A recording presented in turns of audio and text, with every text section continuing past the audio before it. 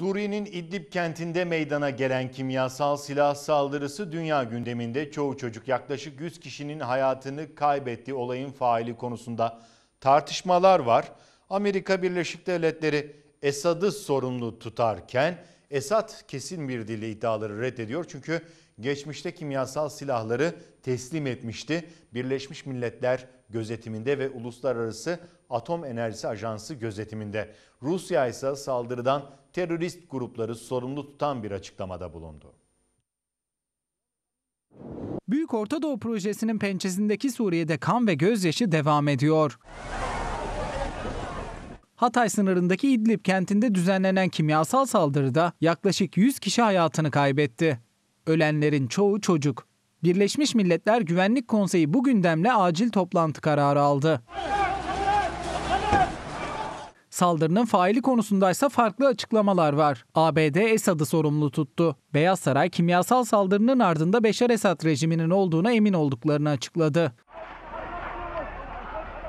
Suriye ordusu ise kimyasal saldırı düzenlediği iddialarını reddetti ve bunları hiçbir zaman hiçbir yerde kullanmadık ve kullanmayacağız açıklaması yapıldı.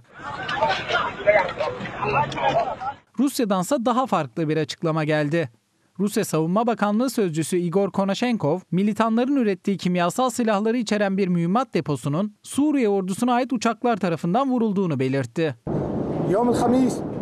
İdlib'deki depoda üretilen kimyasal gazların Irak'a gönderildiğini ve Irak'ta bu gazların kullanıldığının uluslararası örgütler tarafından da teyit edildiğini ifade eden Konashenkov, aynı kimyasal mühimmatın Halep'te de militanlar tarafından kullanıldığını belirtti.